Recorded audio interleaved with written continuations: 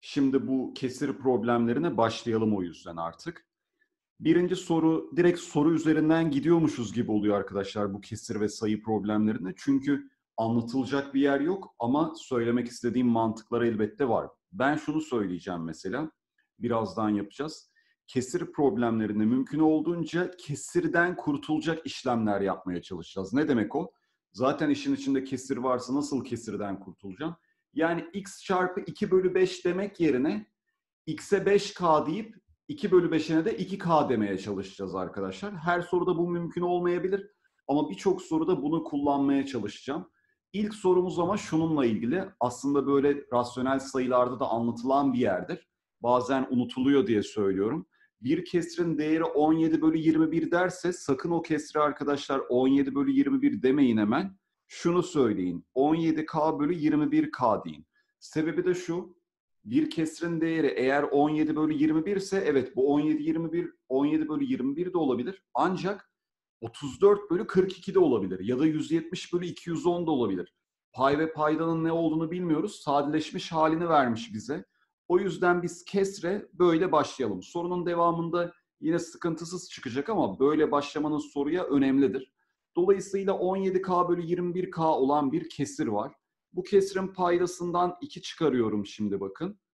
Pay, şey paydası payına 2 ne demiş? Evet payından 2 çıkarıyorum. Paydasına da 3 ekliyorum demiş. Böyle. Bunu yaptığımız zaman kesrin değeri 5 bölü 8 oluyormuş.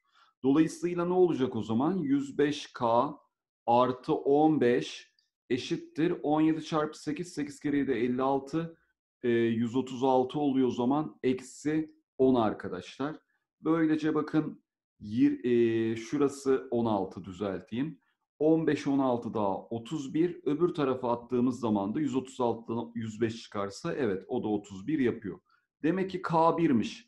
Bu soruda arkadaşlar kesrin değeri yine 17 bölü 21 geldi ama şunu demeyin sakın. E ne kadar uğraştık yani buna gerek var mıydı? Evet buna gerek var. Sayıları çok sıkıntılı vermemeye çalıştığım için ben çok da böyle uğraşalım istemedim. O yüzden mantığı söyledim burada ama tamam cevap 17 bölü 21 çıktı. Aralarındaki fark da 4 olmuş oldu. Bu şekilde ilk sorumuz.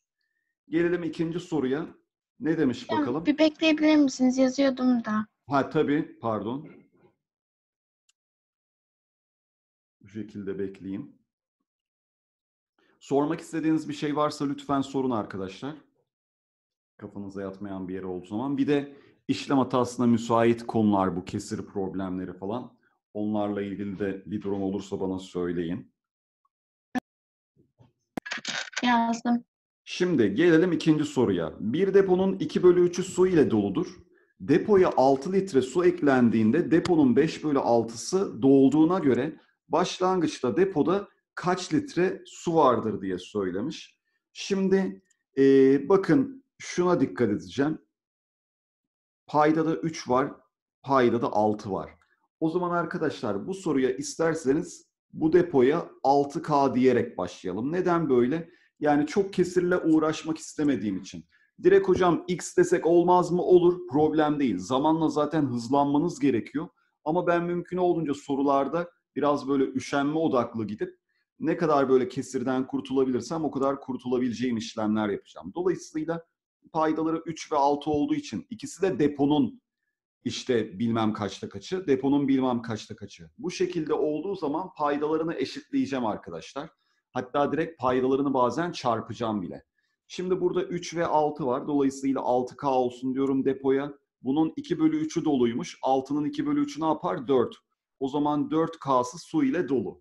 Depoya 6 litre daha su eklediğimizde yani 4K'ya 6 kadar su eklediğimizde deponun 5 bölü 6'sı doluyormuş. Zaten 6K'nın da 5 bölü 6'sı neye eşittir? 5K'ya. Demek ki 4K su varken 6 litrede biz eklersek 5K oluyormuş depodaki su. Böylece K arkadaşlar ne geldi bakın? 6 geldi. Soru benden ne istiyor? Başlangıçta depoda kaç litre su vardır diyor.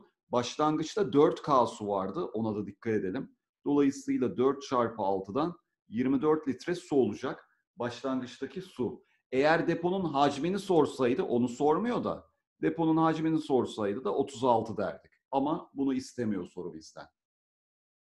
Tamam mı acaba? Evet. Yazamazsanız söyleyin yine bana. Bir kuş sürüsünün 3 bölü 5'i A ülkesine, 2 bölü 7'si B ülkesine ve kalanların yarısı da C ülkesine uçmuştur. Şimdi arkadaşlar şöyle bir şey yapacağız. Demin dediğim mevzuyu söyleyeceğim. Ben burada kuşların sayısına x dersem soruya evet getiririm. Tamam problem yok olur. Ancak kesirlerle daha az uğraşmak için ben bu paydaları eşitlemeyeceğim bile direkt bodoslama çarpacağım. Ne kadar büyük bir k'lı sayı o kadar az kesirle uğraşma problemi getirir bize. Dolayısıyla 5 kere 7 35 bir de yarısı dediği için o 1 bölü 2. Ben kuşların sayısını arkadaşlar 70k diyorum. Kendiniz zaten evde kesir problemlerini çalışırken de bu dediklerime göre bir yapmaya çalışırsanız aslında bunların daha güzel olduğunu görürsünüz. Ama ne olursa olsun her zaman benim öğrettiklerimden veya öğretmenlerinizin öğrettiklerinden yola çıkarak e, sonra kendiniz bir çözüm mantığı da oluşturabilirsiniz arkadaşlar. Şimdi 70K dedim. 3 bölü 5'i, 70'in 3 bölü 5'i ne yapıyor? 14 çarpı 3'ten 42K. A ülkesine gitmiş. Sonra arkadaşlar bunun 2 bölü 7'si, 70K'nın 2 bölü 7'si yani 20K'sı B ülkesine gitmiş. Kalanların yarısı diyor 42K ve 20K olduğuna göre ne yaptı bunların toplamı? 62K. Başlangıç ne kadar ne kadar vardı? 70K. O zaman 70K'dan 62K'yı çıkarırsak demek ki elimizde 8K tane kuş kalmış. Bunların da yarısı C ülkesine. Yani arkadaşlar 4K'sı da C ülkesine gitti. En son artık bu geldi. Böylece ne kaldı elimizde? 62 gitmişti. 4 daha gitti. 66K gitti totalde. Toplam 70K vardı. Demek ki arkadaşlar en son 4K kalmış. Bu da 30 kuşmuş. 4K 30 kuşa eşitse 70K ne kadara eşit bunu bulalım. Bundan sonra da artık ne yapacağız? İçler dışlar çarpımı. 70K çarpı 30 bölü 4K eşittir X olacak bakın. Şöyle içler dışlar yaparsak. Dolayısıyla K'lar gitti. 30'u bir 4'e böl 2 ile sadeleştirelim 15. Bunu sadeleştirelim 2. Bunu da sadeleştirelim. 35. 35 çarpı 15 525 yapıyormuş. Uğraşmayayım ben de. Bu şekilde cevabı işaretlemiş olayım. Gördüğünüz gibi paydalar evet birbirinden farklı. 5, 7, 2 öyle çok da birisi diğerinin katı olan şeyler değil. Soruda en başta x çarpı 3 bölü 5, x çarpı 2 bölü 7, x bölü 2 diye falan da gidebilirdik. Ama dediğim gibi ben mümkün olduğunca arkadaşlar bundan kaçacağım. Siz de kaçmaya çalışın çünkü hem zihnimiz yoruluyor hem de kesirlerle uğraştıkça zaten işlem hatasına müsait bir konu bu kesirler, rasyonel sayılar kısmı. Bir de onunla uğraşmayalım sonra. Sormak istediğiniz bir yer var mı acaba? Geçeyim mi? Problem yok o zaman geçiyorum.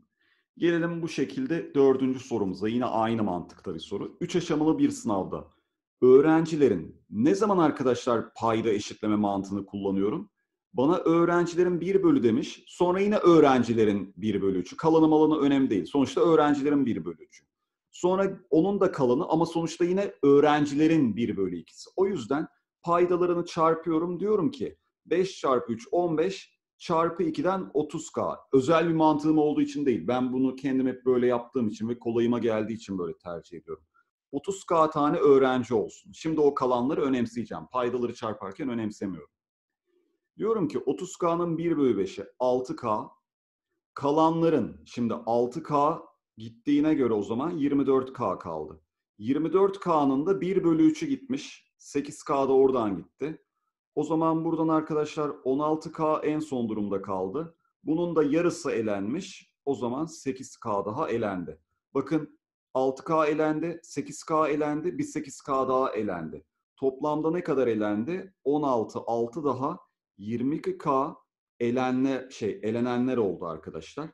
Başlangıçta bizim 30K vardı öğrenci sayımız. Demek ki 30K'dan 22K'yı çıkarırsak 8K elenmeyenler. Bunlarla ilgili sormuş bize şimdi.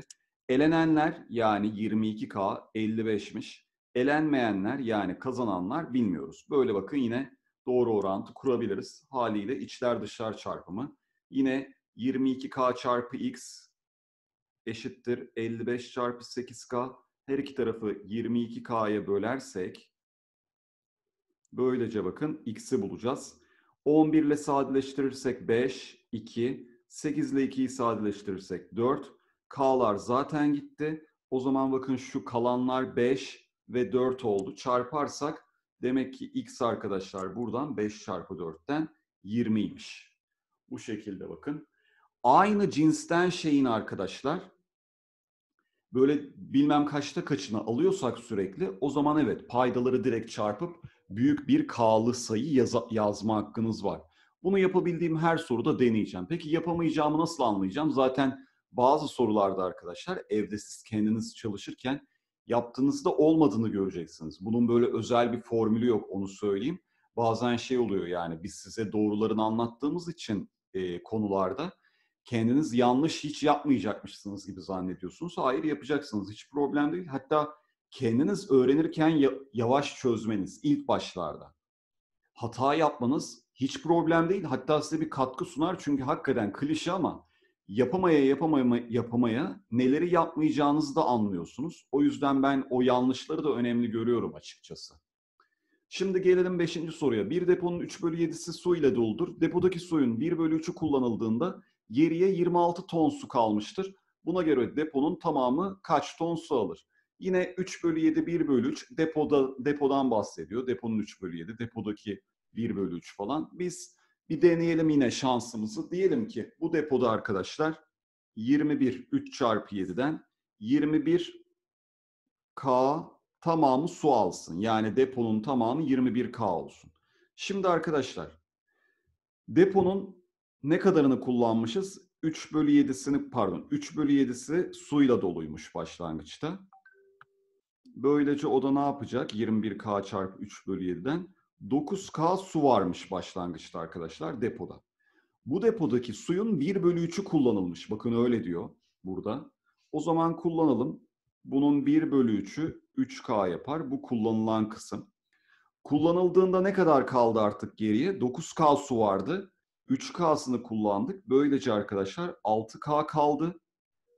Bu 6K'da neyi eşitmiş? 26'ya. Bizden neyi istiyor? Başlangıçta deponun aslında tamamının ne kadar su alacağını yani 21K'yı istiyor. Böylece X dedim. 21K çarpı 26 bölü 6K'da arkadaşlar X yapacak gördüğünüz gibi. Sadeleştirelim şimdi yine. 3'e bölelim 2, 3'e bölelim 7, 2'ye bölelim 13, 7 çarpı 13'ten X eşittir 91 litre su alıyormuş eğer tamamı dolusaymış. Bu şekilde bakın. E, zaten soruları belli modellere göre seçmeye çalıştım. Çok böyle kafanızı e, karıştırmak istemiyorum. Bir öyle bir öyle değil. Belli mantıkta soruları göstereceğim. Yoksa zaten direkt bütün karma problemleri anlatırım öyle bir şey olsa. Burada şu ana kadar yap sayısını bilmiyoruz. E, erkek sayısını da bilmiyoruz. Erkeklerin dörtte biri ve erkeklerin üçte, kadınların üçte biri değil mi? Evet, kadınların da pardon beşte biriymiş. Kadınların beşte birinin başvuruları geçersiz sayılıyor. O zaman 3E bölü 4 geçerli sayılan, 4K bölü 5 yine geçerli sayılan arkadaşlar. Böylece ne olacak buradan? 15E eşittir 16K oldu. Doğru mu? Bu şekilde söylüyor bize. Dolayısıyla 15'e 16K. O zaman burada yine e, bunlar birbirine eşit olduğu için erkek sayısına artık ben 16X diyebilirim. Kadın sayısında 15X diyebilirim. Soruyu bakın yine tek bilinmeyene bir şekilde düşürmek gerekiyor. Dolayısıyla toplamda arkadaşlar ne demişti bize?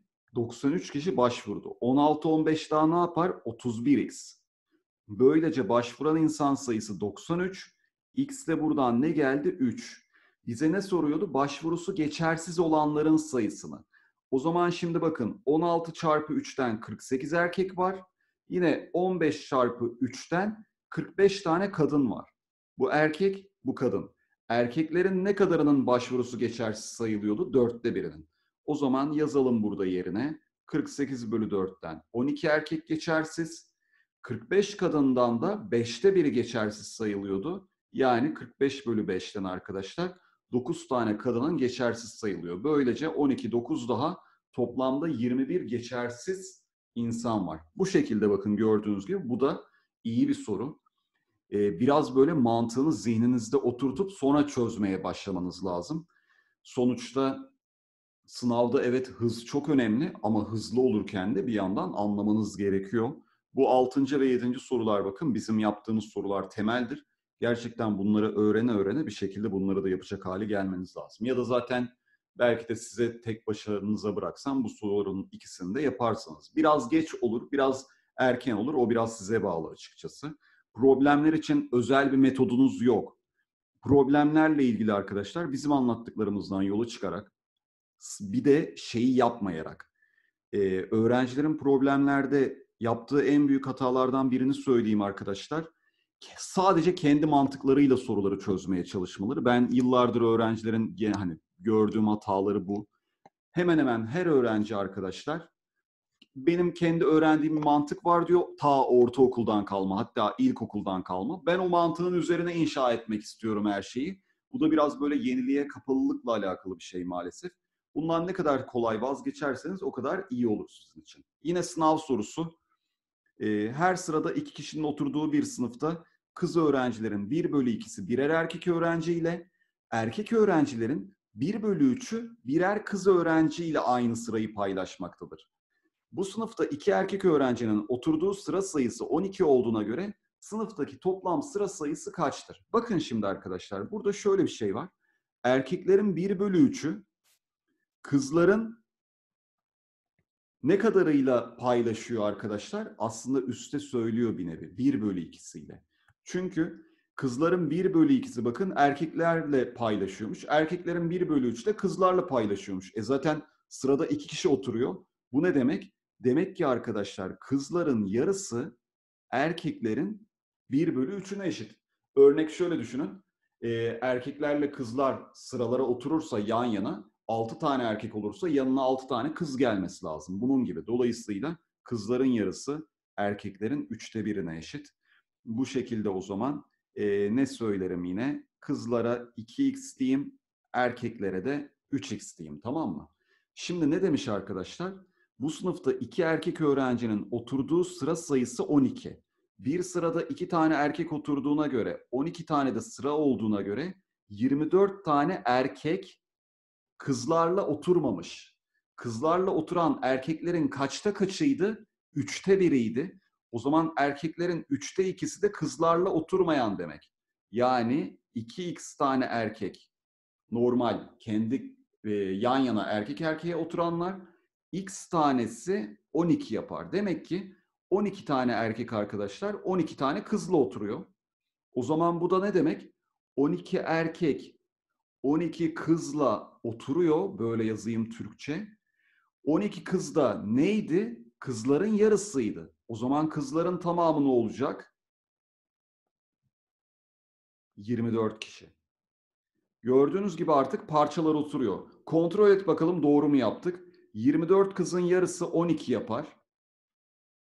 Sonra arkadaşlar 36 erkeğin üçte biri yine 12 yapar. Hakikaten birbirine eşit oldu. Böylece 36 erkek vardı. 24 tane de kız vardı arkadaşlar. Bu sınıfta 60 öğrenci var. 60 öğrenci ikişer ikişer sıralara oturuyorlar. Demek ki 30 tane sıra varmış. Bu şekilde bakın yeni nesil soru deyince arkadaşlar şekilli soru, enteresan görünümlü soru algılamayın. Bunlar yeni nesil soru işte. Biraz daha böyle anlama kısmı size ait. Bazı sorular öncüllü oluyor geçen ders yaptığımız gibi ama direkt şöyle olmuyor bütün sorular. 10 sorunun bir iki tanesi maksimum öyle oluyor. Normal standart denklemde koy yerine çıksın ya da sayı ver çıksın. Onlar çok az. Sizden genelde bir şeyleri hızlı anlamanızı bekliyor. O yüzden evet TYT'de biraz bu süre sıkıntısı muhabbeti olabiliyor arkadaşlar. Gelelim şimdi bir tane daha çıkmış soruya. Sonra soru tiplerine devam edeceğim. Ayşe, Bora, Can'ın toplam 72 bilyesi vardır. Ayşe bilyelerin yarısını Bora'ya, Bora bilyelerin üçte birini Can'a, Can bilyelerin dörtte birini Ayşe'ye vermek üzere ayırıyor. Ve ayırdıkları bu bilyeleri aynı anda birbirlerine veriyorlar. Son durumda hiç kimsenin bilye sayısı değişmiyor. Buna göre Ayşe'nin kaç bilyesi vardır? Bu da güzel bir şekilde arkadaşlar dümdüz böyle boloslama x ver y verdiği soru değil de anlamanız gereken bir soru. Ondan sonra denklemi kurmaya başlamanız lazım. Bunu arkadaşlar iki yoldan yapabiliriz. Uzun bir yolu var. O yola hiç girmeyeceğim. Çünkü o bize TYT'de süre kaybettirir. Yaparsın soruyu. Bazen yapmak da önemli ama hızlı yapmamız gerekiyor gerçekten. Ee, burada şimdi ben size kısa yolu göstereyim. Görmeniz gereken esas yol. ÖSYM'nin istediği. Şimdi arkadaşlar bakın. Bir kere öğrenciler vermek üzere ayırıyor. Ayşe yarısını ayırıyor. Bora üçte birini ayırıyor. Can da dörtte birini ayırıyor. Bunlar şimdi bunu, e, ayırdıklarını arkadaşlarına verecekler. Verdiklerinde de bilye sayısı değişmiyor. Bu ne demek biliyor musunuz? Gelenle giden aynı sayı demek. Örnek Ayşe mesela 30 taneden şu an kesinlikle cevap 30 değil. Zaten şıklarda da bakın bilerek böyle yazdım. Diyelim Ayşe'nin 30 tane bilyesi var. 15 tanesini ayırıyor ya. Ayşe'nin bilye sayısının değişmemesi için Ayşe'ye kaç tane gelmesi lazım? 15 tane geri gelmesi lazım. Ya da Can mesela diyelim 40 bilyesi var. 10 tanesini ayırıyor dörtte birini. E değişmemesi için ne olması lazım? Can'a 10 tane geri eklenmesi lazım. İşte bu yüzden burada arkadaşlar bu eksilen bilyelerin hepsi birbirine eşit olması lazım. Neden? Can'ın kendinden eksilttiği Ayşe'ye gidiyor. İşte Ayşe'nin kendinden eksilttiği Bora'ya gidiyor. Bora'nın kendinden eksilttiği Can'a gidiyor. Dolayısıyla bu eksilen bilyelerin hepsi birbirine eşit olmalı. Demek ki Ayşe'nin 2K kadar, işte Bora'nın 3K kadar, Can'ın da 4K kadar bilyesi varmış. Böylece toplamda 9K bilye 72 tane yaptı. K da arkadaşlar 8 oldu. Bizden ne istiyordu? Ayşe'nin bilye sayısını. O zaman demek ki 16 tane bilyesi varmış. Bu şekilde bakın. Böyle size bir 3 veya 4 tane çıkmış soru çözdüm. Zaten devamında da çözeceğim. Şimdi ben mantıklara devam edeyim arkadaşlar. Böyle bir araya çıkmış soruların önemini anlatan sorular olmuş olsun size. Şimdi gelelim normal yine yapmamız gereken klasik kesir problemlerine devam edelim. Kesir problemleri ama bir tane böyle araya hız problemi gibi e, kaynamış gibi düşünmeyin lütfen. Şu kadarını biliyorsunuz arkadaşlar. Yol eşittir hız çarpı zaman. Niye bunu söylüyorum? Şimdi siz kesir problemleri yaparken de aralarda böyle temel bilgilerin olduğu sorular olabilir. Sonuçta ta ortaokul bilgilerini de kullanıyoruz. O yüzden bunu koymakta bir mahsur görmedim. Yol eşittir hız çarpı zamanı bilmeniz yeterli. Aynı anda sabit hızlarla koşmaya başlayan iki koşucudan birincisi koşulacak yolun 3 bölü 5'ine geldiğinde ikincisi aynı yolun 3 bölü 7'sine gelmektedir. O zaman aynı yol aynı yol ekle çıkar muhabbeti yok. Ben paydaları çarpıyorum. Yola 35 metre diyorum. Hatta yolun kaç metre olduğunu da sormuyor. Burada K dememize bile gerek yok. Oran sorduğu zaman arkadaşlar kendimiz düzgün olmak kaydıyla sayı verebiliriz. Şimdi 35 metre yol var. Birisi 3 bölü 5'ine geldiğinde yani 35'in 3 bölü 5'i ne yapar? 7 çarpı 3'ten 21. Diğeri arkadaşlar ne kadar yapıyormuş? 35'in 3 bölü 7'sine geliyormuş anca. O zaman 35'in 7'de biri 5, 5 çarpı 3'ten 15. Şimdi bu 15 metresini almış oldu. Birinci koşucu koşuyu koşuyu bitirdiğinde yani bu ikinci koşucunun koşuyu bitirmek için koşması gereken yol yolun tamamının kaçta kaçıdır diye sormuş. Evet, bakın şimdi. Yolun tamamı 35. Sonra arkadaşlar burada neye dikkat etmemiz lazım? Bu 21 metre gittiğinde diğeri 15 metre gidiyor ya doğru orantı düşünün. Aynı anda ne kadar yol gidiyorsan o kadar hızın vardır. Dolayısıyla örnek birisi diyelim 2 kilometre yol aldı 5 saniyede, öbürü 5 saniyede 1 kilometre yol aldı. O zaman birisi diğerinin iki katı hıza sahiptir. Aynı mantık, doğru orantı. Hiç o yüzden hız problemi gibi bile düşünmüyorum. Birisinin hızı o zaman 21 ve haliyle aldığı sürede ne olacak bakın? 35 bölü 21 v. Bu şu an arkadaşlar bu kadar süre gitti. Tamam mı? Bu bu kadar süre gittiğinde acaba ikincisi ne kadar yol aldı bu sürede aynı zaman diliminde? 35 eşittir. Aynı süre 35 bölü 21 ve bunun arkadaşlar e, ne kadar yol gittiğine bakacağız şimdi. 35 eşitlemeyeyim pardon yanlış söyledik. Bu gittiği zaman sonra bunun hızı 15 ve böylece sadeleştirirsek 7'ye böl 3, 7'ye böl 5. V'ler gitti. Böylece 15'i de 3'e böldüm. 5 çarpı 5'ten 25 metre yol aldı. Ne kadar sürede? Deminkinin yolu bitirdiği sürede. Dolayısıyla toplam yol ne kadar ar- arkadaşlar? 35. Gittiği yol ne kadar? 25. Demek ki ne kadar yolu kalmış? 10 metre. Kalan yol 10. Gitmesi gereken yol toplamda 35. Demek ki tüm yola oranı 5'lerle bölersek 2 bölü 7'ymiş. Bu şekilde bakın bir kesir sorusu. Çok hafif böyle aslında hız problemi gibi görünüyor ama doğru orantı ters orantıyı ben önemsiyorum. Zaten sizle onu yapmıştık problemlerden önce. Burada da hız problemi yorumuyla değil de doğru orantı yorumuyla yapmak istedim. Kafanıza yatmayan bir şey varsa lütfen sorun arkadaşlar. Ve e, bazı sorularda bilinmeyeni bulmak için yalnız bırakmayı da göz önünde bulundurmak lazım. Mesela ben burada T'yi de bilmiyorum ama T'yi bulmak için bakın yol bölü zaman yaptım. Yol bölü hız yaptım pardon.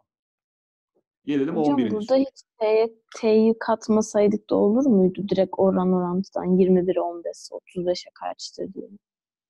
Olur. Doğru orantı kullanıp yapabilirsiniz. Şöyle ama bir dakika 21 15 e, ne diyorsun orada onu söylemen lazım bana. Hocam işte birincisi 21'e 21 gidiyorken ikincisi 15'e, ikinci Evet. 35 gittiğinde öbürü kaç gider? Oradan da direkt 25 Tabii. geldi. Aynen. Yine böyle olur. Bu da doğru orantı yorumudur zaten. Benim yaptığımın aynısı hemen hemen. Ben sadece orada hız eşit, yol eşittir hız çarpı t'yi kullanıyorum bir nevi. Tamam mı? Zeynep mi sormuş? Tamam hocam. Evet evet. Tamam. Bu şekilde doğru orantıyı kullanabildiğimiz sorularda, ters orantıyı kullanabildiğimiz sorularda kesinlikle kullanacağız. Hiç de bir yanlışlık yok. Çünkü şunu diyebilirsin, ben o kadar hız problemi bilmiyorum hocam, böyle yapmak istiyorum. Gelelim 11. soruya. E, dolu e, boş kap mantıkları var arkadaşlar. Hiç de zor değildir. Sadece şeye dikkat edeceğiz. Kabın da bir ağırlığı olduğuna dikkat etmeliyiz. Bakın şimdi. 1 bölü 3'ü su ile dolu olan bir kabın ağırlığı 5x kilogramdır. Kaptaki suyun yarısı boşaltıldığında kabın ağırlığı 3x kilogram geldiğine göre boş kabın ağırlığı kaç kilogramdır? Suyun ağırlığına su, S diyeyim, kabın ağırlığına da K diyeyim tamam mı? Şimdi bakın. Kap normalde S kadar su alsın böyle ve tamamı doluyken içinde S kadar su olsun. 1 bölü 3'ü suyla doluysa o zaman S bölü 3 kadar su alır. Ancak kabın ağırlığı değişmez. O kabın ağırlığı normal durur. Kendi boşkenki ağırlığı. Dolayısıyla bunların toplam ağırlığı arkadaşlar neymiş? 5x. Tamam mı? Sonra diyor ki kaptaki suyun yarısı boşaltıldığında 1 bölü 3 su vardı. Yarısını da boşalttım. S bölü 6 kaldı. Kabın ağırlığı yine değişmedi. Ne demiş bize? Ee, yarısı boşaltıldığında kabın ağırlığı 3x kilogram oluyormuş. Gördüğünüz gibi bakın tamamen harfli bir denklem ama gayet rahat bir şekilde hallettik. Neden? Çünkü çıkardığımız zaman taraf tarafa k'lar gitti. Böylece s bölü 6 neye eşit oldu? 2x. Buradan artık yine tek bilinmeyene indirebiliyorum. Neden? Suyun ağırlığı 12x'e eşit oldu. Yaz yerine şimdi. Suyun ağırlığı 10x olduğunu, 12x olduğuna göre boş kabın ağırlığını sormuş bize. Ne söyleyeceğim? İstediğin denklemde yaz. Ben üstteki denklemde yazmak istiyorum. S 12x ise S bölü 3 nedir? 4x. Kabın ağırlığı K. Toplamda neye eşit? 5x'e. K buradan ne geldi? X. Gördüğünüz gibi kabın ağırlığı da X oldu. Hiç özel bir şey yapmadım. Sadece kap su, işte kap sıvı, kap içindeki katıcısın hiç fark etmez. Bunlar verildiği zaman boş kabın ağırlığının da olduğuna dikkat ederek ayrı ayrı iki tane harf vermek zorundayız. Burada çünkü tek harfle halledemiyoruz. Hatta dikkat ederseniz üçüncü bir harf bir de X de çıktı. Bununla ilgili birkaç soru çözeceğim merak etmeyin. Bakın şimdi. Bir fıçının ağırlığı boşgen A kilogram, dörtte biri su ile dolu iken B kilogramdır. Bu fıçının yarısı dolu iken, su ile dolu iken ağırlığı kaç kilogramdır diyor. Şimdi ağırlığı boşgen A kilogram. Dörtte bir su ekliyorum. O zaman alacağı su şu anlık S olsun. S bölü 4 su eklediğimde B kilogram oldu. Sonra bize ne demiş? Fıçının yarısı su ile doluyken ağırlığı nedir? Dikkat ederseniz arkadaşlar cevaplar A'lı B'li gördünüz mü? Şimdi niye böyle? A'lı B'li olmasının sebebi. E ben burada S harfi verdim. Bu bir hata olduğu için değil. ÖSYM de böyle sorar. Senden bir nevi S'den kurtulmanı istiyor. Sonuçta senin o S derdin, L derdin, M derdin senin uydurduğun harf. O zaman S buradan ne geliyor? Öbür tarafa atarsak B eksi A 4 ile de çarparsak 4B eksi 4A geliyor. Şimdi ne yapacağım artık? S gördüğüm yere bu 4B eksi 4A'yı yerleştireceğim. Nerede? Bana sorduğunda. Kabın boş ağırlığı zaten A. S bölü 2'de şu S'nin yarısı yani 2B eksi 2A. Böylece ne geldi? 2B eksi A. Yine bakın özel bir şey yapmadan sorunun cevabını buldum. Sadece kendiniz harflendireceksiniz bazen merak etmeyin.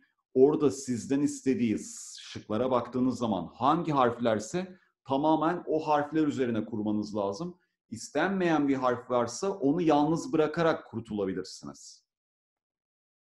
Geldim 13. soruya. Bakın şimdi. 1 bölü 5'i boş olan bir su deposuna içindeki suyun 3 bölü 4'ü kadar su konulunca depodan 8 litre su taşıyor. Bakalım burada şöyle çok kesirle uğraşmak istemiyorum. 1 bölü 5 dikkat ederseniz dolu kısmı 4 bölü 5 yapar. Bir de onun 3 bölü 4'ü ha 4'ler gidiyor gibi düşünüp hızlı olabilirsiniz. Hızlı olamazsanız da birazcık canınız sağ olsun ilk başlarda. Sonra yapa yapa hızlanırsınız. Şimdi ben 5K su olsun diyorum. Normalde tüm miktar içine alabileceği miktar 5K su olsun. Bunun 1 bölü 5'i dolu olduğu için 4K kadar su var. Sonra 4K'nın da 3 bölü 4'ü kadar su konuluyormuş. Şimdi 4K var. 4K'nın sen 3 bölü 4'ü su koyarsan ne olur? 3K su eklemiş olursun. Zaten elinde 4K vardı. Bir de 3K ekledin.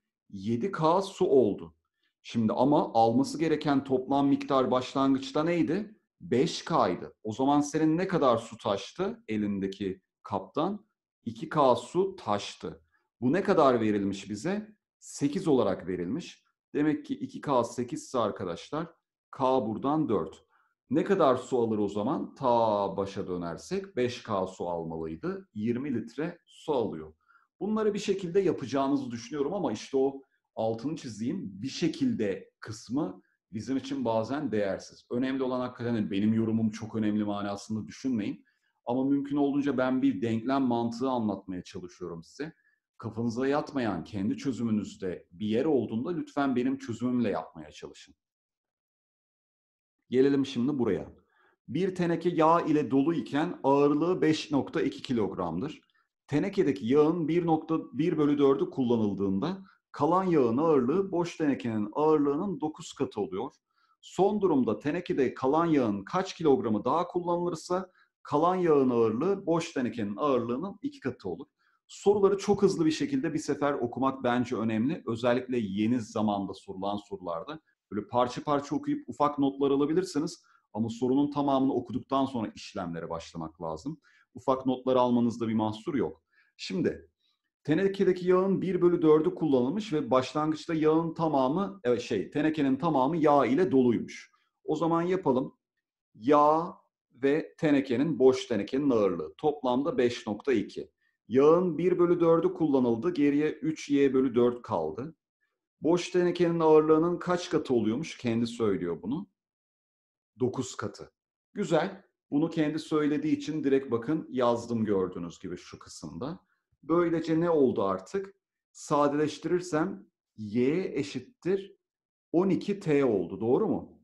Bu şekilde bakın gördüğünüz gibi. y 12t olduğuna göre artık 12t artı t buradan ne geldi arkadaşlar? 5.2. t de 13'e bölersek 5.2'yi ne yapıyor? 0.4. Tamam ne güzel t'yi bulduk. O zaman demek ki yağın ağırlığı neymiş? 4.8. Onu da söyleyelim ki kullanabiliriz şimdi. Ne demiş arkadaşlar bize? Son durumda tenekede kalan yağın. Son durumda tenekede ne kadar yağ kaldı? 1 bölü 4'ü kullanılmıştı. 4.8 tamamıydı. 1.2'si kullanılmış. O zaman son durumda kalan yağ, bunda da dikkatli olalım, 3.6 kilo. Şimdi ne demiş bize? Son durumda kalan yağın kaç gramı daha kullanılırsa yağın ağırlığı boş tenekenin ağırlığının iki katı olur. 3.6 kilogram ne yapar? Üste yazayım artık. 3600 gram yapar. Bunun ne kadarı gidiyor bilmiyorum. X gramı gidiyor. Ve boş tenekenin ağırlığı 0.4 olduğu için 400 gram. Kalan miktarda bu boş tenekenin iki katı oluyormuş arkadaşlar. Böylece X buradan bakın 3600 eksi 800'den 2800 geldi. Bu şekilde bakın denklem kurduğumuz bir soru oldu. Çok da sıkıntılı bir durum yok ama şimdi ben anlatıyorum siz izliyorsunuz. Kafanıza yatmayan bir yere olduğu zaman lütfen sorun. Bakayım birkaç dakika olmuş. Bir 40 dakika olmuş arkadaşlar. İsterseniz tam burada birazcık duralım. Sorunuz varsa sorun lütfen ama yoksa 50 geçe tekrardan buluşalım arkadaşlar. Kalan kısmı yapalım olur mu? Evet 50 geçe görüşürüz o zaman.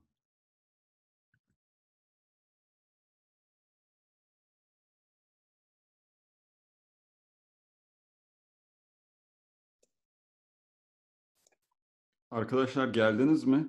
Demin muhtemelen ben size 17.50 falan mı dedim ya? 17.23'ü ben 17.43 gibi düşündüğüm için. Ee, Azra burada mısın? Berra, İpek, Nazlı, Oğuz, Zeynep. Buradayım hocam. Buradayım hocam. Buradayım hocam. Nazlı'yı da Zeynep'i duymadım. Buradayım hocam. Nazlı sen?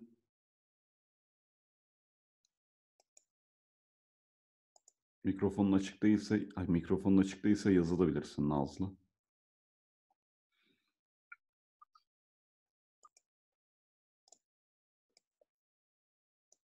Nazlı'dan ses yok. 30 geçiyor herhalde gelir diye düşünüyorum yani. E kıza e, yanlışlıkla ben demin 50 geçe dedim sanki değil mi? Evet hocam. Nazlı da ona göre 50 geçe gelmesin sonra. Hocam şimdi yazarım Nazlı'ya ben WhatsApp'tan gelirim. Yazsana ben yanlışlıkla yani sonra boşu boşuna şey olmasın ya sıkıntı olmasın. Bir tek Nazlı yok çünkü. Yazdım hocam gelir. Tamam. Şimdi arkadaşlar bir soru modelimiz var. Ee, tahmin etmesi zor değil ama göstereyim istiyorum.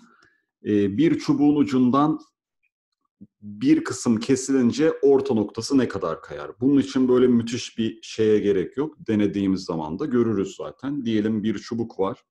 Böyle 60 santim olsun mesela. 30, 30.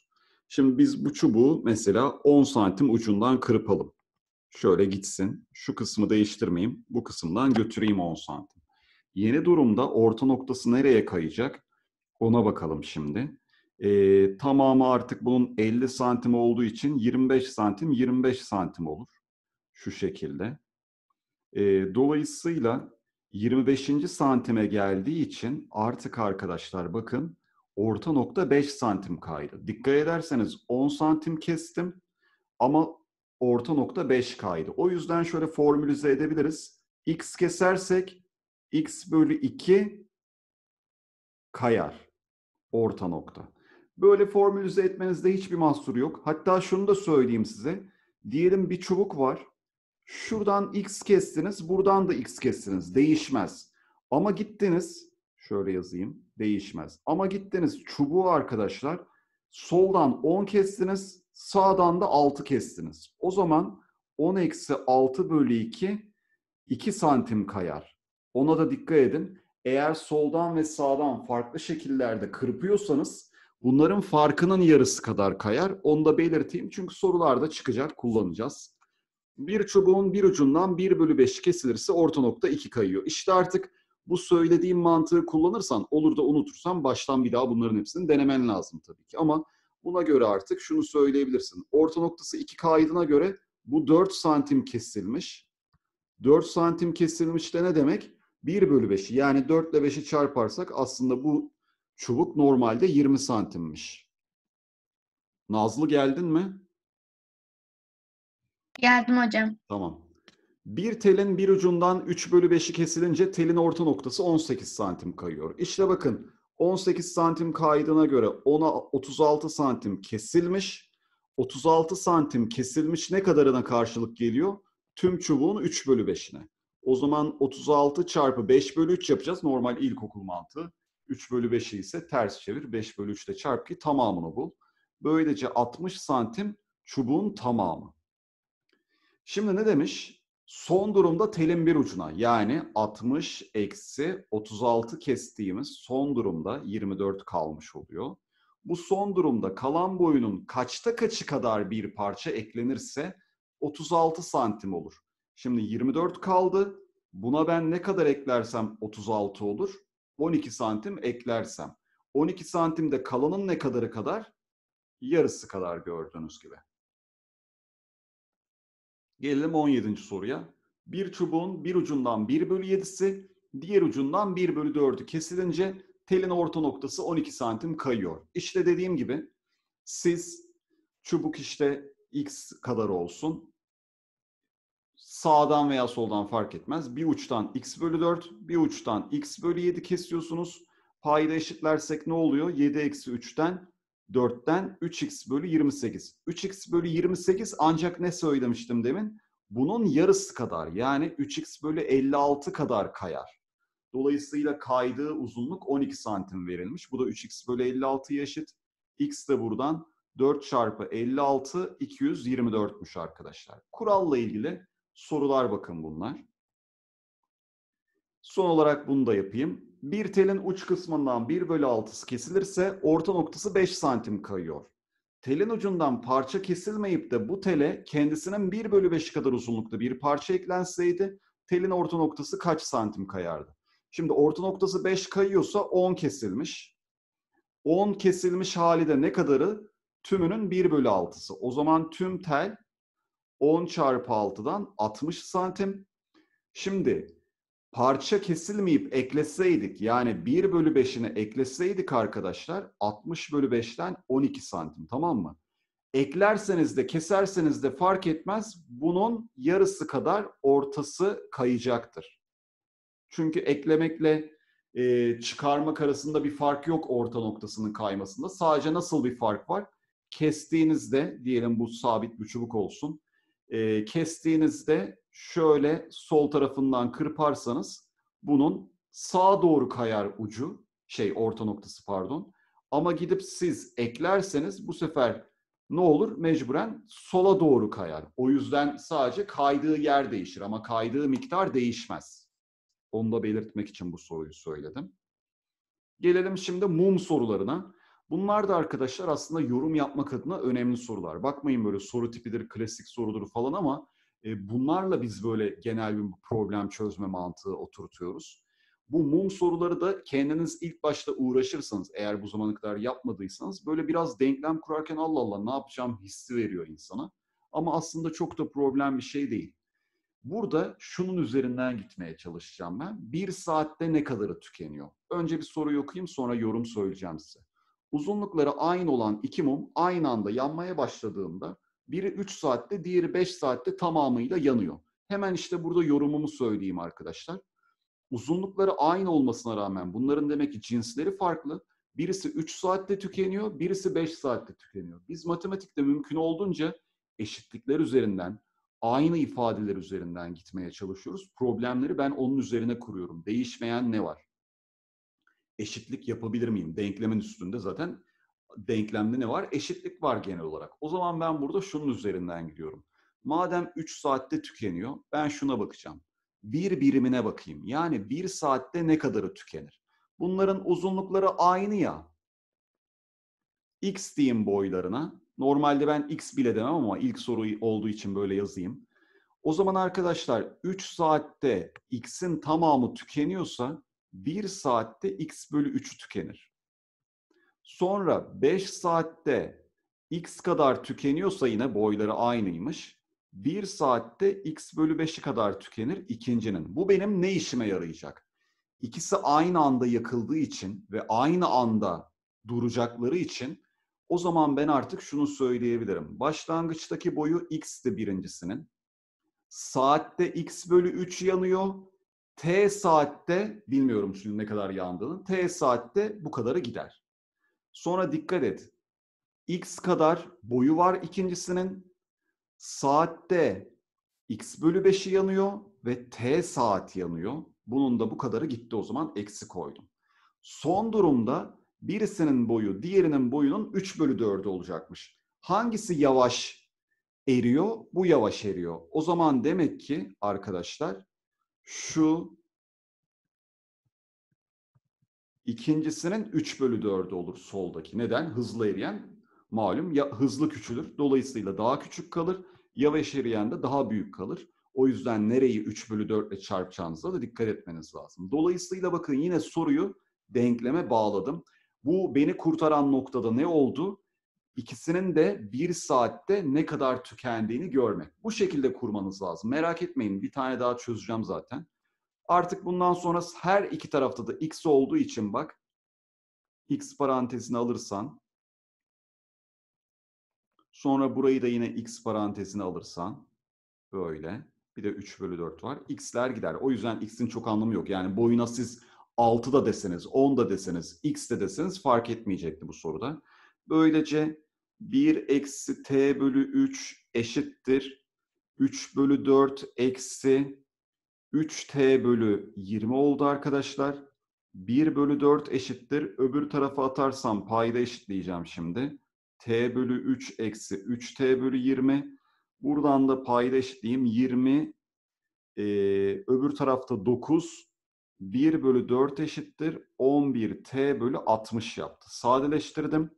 T de arkadaşlar buradan 15 bölü 11 geldi. 15 bölü 11 saat sonra birisi diğerinin 3 bölü 4'ü kadar oluyormuş. Bu şekilde bakın e, bir tane gösterdim size mum sorusu mantığını. Sormak istediğiniz bir şey var mı? Yoksa ona göre şimdi diğer soruya geçeceğim. Orada da bir nevi aynı mantığı yine söyleyeceğim. Bakın şimdi. Bu sefer boylar farklı. Mühim değil. Yorumum aynı benim. Boyları farklı iki mumdan uzun olanı 5 saatte, kısa olanı 7 saatte tükenmektedir.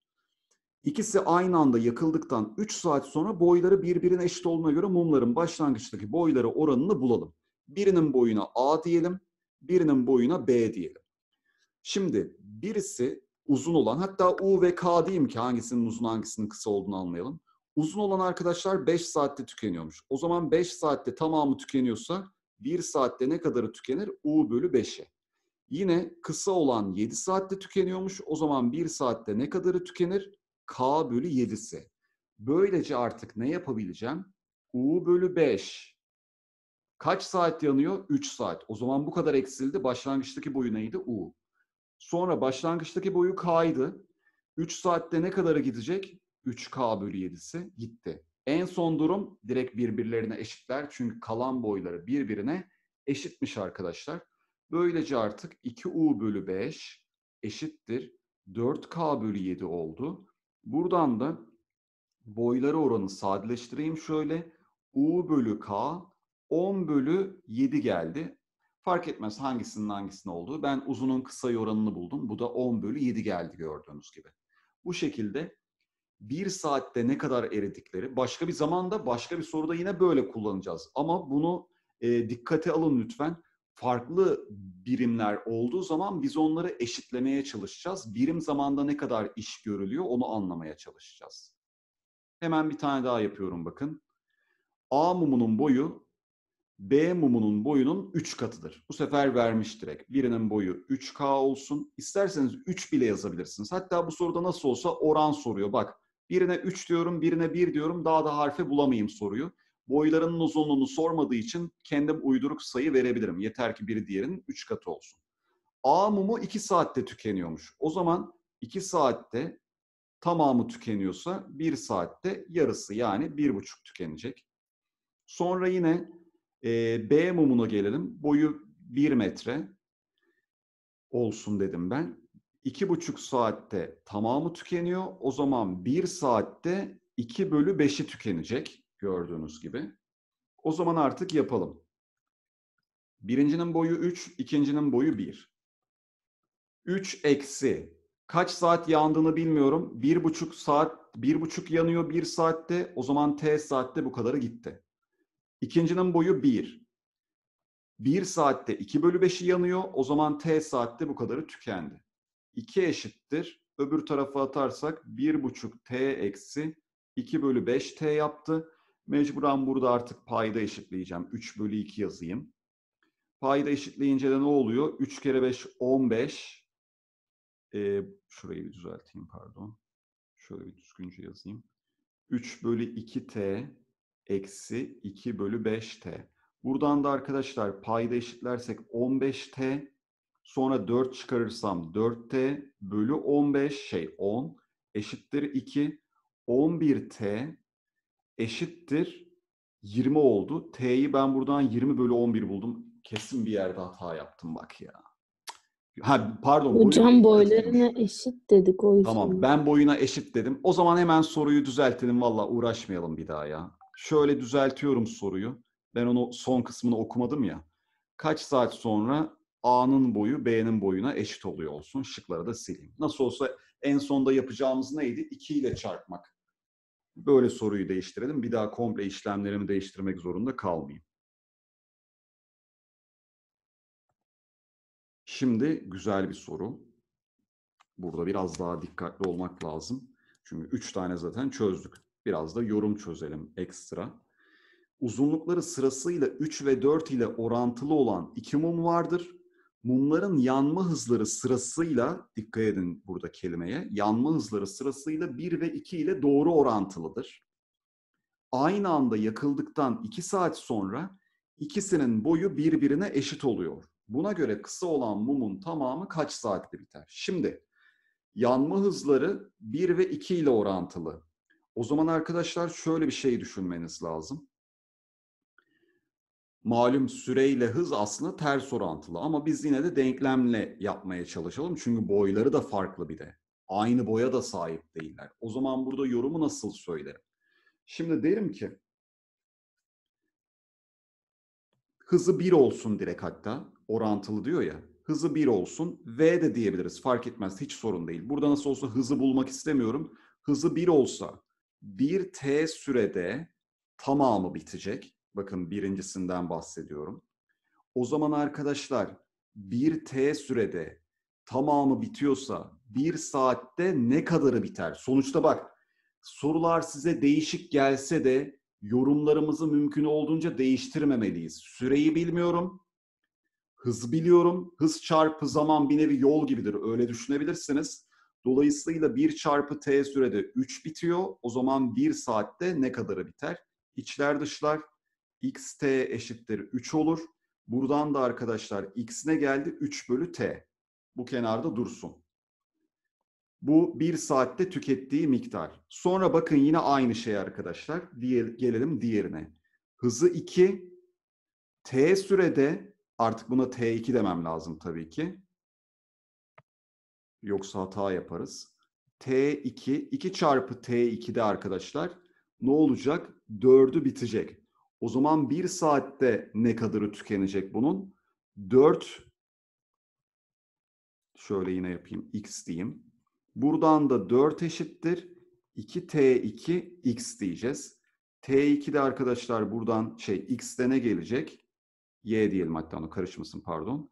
Y de buradan arkadaşlar 2 bölü T2 gelecek. Şimdi bundan sonra şeyi nasıl anlayacağız? T ile T2'nin karşılaştırmasını nasıl yapacağız? Onu da artık şuradan anlayacağız. Şimdi ben şu an bilmiyorum. 2 saat sonra birbirlerine eşit oluyormuş. Birinin boyuna 3 diyorum. Devam ediyorum bakın. 1 saatte 3 bölü t'si gidiyor. O zaman 2 saatte 2 çarpı 3 bölü t'si gidecek. Eşittir diyorum. Bu sefer eşit demiş. Diğerinin boyuna 4 diyorum. Nasıl olsa bizden boylarını istemiyor. O yüzden kendimiz sayı verebiliriz. K'lı x'li demeye gerek yok. Sonra arkadaşlar 2 saatte bunun ne kadarı yanıyor? 2 çarpı 2 bölü T2'si yanıyor. Gitti bakın bu. Böylece ne oldu artık? Ee, 3T eksi 6 bölü T eşit oldu 4T2 eksi 4 bölü T2'ye. Buradan şimdi T ve T2'nin nasıl oranını bulacağız? Dur bakayım bir içler dışlar yapayım. Şöyle 3T T2 eksi 6T2 sonra 4T T2 eksi Burası ne yaptı? 4T yaptı. Oo, buradan şimdi T ve T2'nin oranını nasıl bulacağım ya? İki tane bilinmeyen tek denklem geldi. Var mı gördüğünüz bir şey? Ona göre ben yoksa başka bir yerden deneyeyim.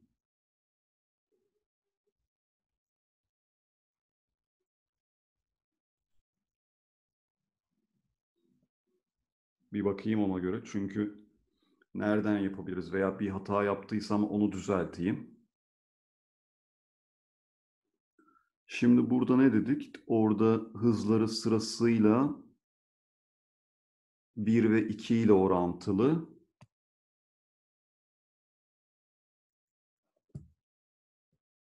Ne söyleyebiliriz, ne söyleyebiliriz? Şimdi iki tane bilinmeyen var. Bu T ve T2 arasındaki bağlantıyı kurmazsam sonuçta şeyi bulamayacağım. Hızlarını kullandık mı orada? Birinin hızına 1 dedik, birinin hızına şey dedik. O zaman bunu tek bilinmeyene düşürmem lazım. Şöyle yapacağım arkadaşlar. Buradan şimdi T ve T2'yi bulma ihtimalim yok benim. Çünkü gidiyor mu bilmiyorum yani. T2, T yok sadeleşmiyor. Çünkü birisi bir de 3 ve 6, 4 ve 4 olduğu için o 4'ler, 6'lar, 3'ler de sadeleşmez. O zaman yorumumu değiştirmeyeceğim ama şöyle yapacağım. Soruyu tek bilinmeyene bağlayacağım o T ve T2'yi bulmak için. Bakın şöyle söyleyeceğim. O zaman hız üzerinden gideceğim demek ki bu soruda. Bakın şimdi. Birinin hızına V diyeceğim. Diğerinin hızına 2V diyeceğim. Tamam mı? Şimdi bakın. O zaman artık şu olmuş olacak. Biri 3 bölü V sürede tükenir. Artık buradan tek bilinmeyene bağlayabilirim. Diğeri arkadaşlar 4 bölü 2V sürede tükenir. Artık bakın neyi anladım. Şimdi soru tek bilinmeyen oldu. 3 bölü V 3T olsun. 4 bölü 2V de 2T olsun. Gördünüz mü artık iki bilinmeyen olmadı, tek bilinmeyen oldu. Şimdi artık soruyu yapabiliriz. Çünkü demin T ve T2 yaptık. Yani oradan gitmek istedim. Hızdan gitmek istememiştim. Direkt böyle sizi zamana sürükleyeyim istedim ama zamanla yapamadık maalesef. Dolayısıyla yapıyorum o zaman. 3T sürede 3 bitti. O zaman 1 saatte ne kadarı tükenir? 1 bölü T'si tükenir değil mi? Bu şekilde. Sonra arkadaşlar geliyorum diğerine. 2T sürede 4'ü tükeniyor. 1 saatte ne kadarı tükenir? 2 bölü T'si tükenir. Artık denkleme bir daha baştan yazıyorum. 3 eksi 2 saatte 2 çarpı 1 bölü T'si gidecek. Sonra diğerine geliyorum bakın boyu 4. Sonra arkadaşlar 2 saatte bunun da 2 bölü T'si gidecek. Dolayısıyla buradan direkt T'yi bulacağız artık. Şurası e, 4 bölü T. Öbür tarafa attık. 2 bölü T oldu. Sonra arkadaşlar burada da öbür tarafa atınca 4 eksi 3'ten 1 geldi. T ne geldi? 2. Bizden neyi istiyordu? Kısa olan mumun kaç saatte yanacağını. O zaman T'yi 2 bulduğum için artık gideceğim. 3T'de yerine yazacağım. 3 çarpı 2'den 6 olmuş oldu. Bu şekilde bakın. Hız problemi kısmına çok girmek istemiyordum ama öbür türlü de mecburen T'leri farklı vermek zorundaydık. Gelmedi. Problem yok. Bu şekilde de halledebildik. Sormak istediğiniz bir şey var mı acaba bununla ilgili? İlk denklemi keşke silmeseydim ya. Kenarda dururdu en azından. Çünkü o da yanlış olduğu için değil. Belki bir şekilde T ve T2'yi birbiri cinsinden yazardık. Neyse be kalsın artık o.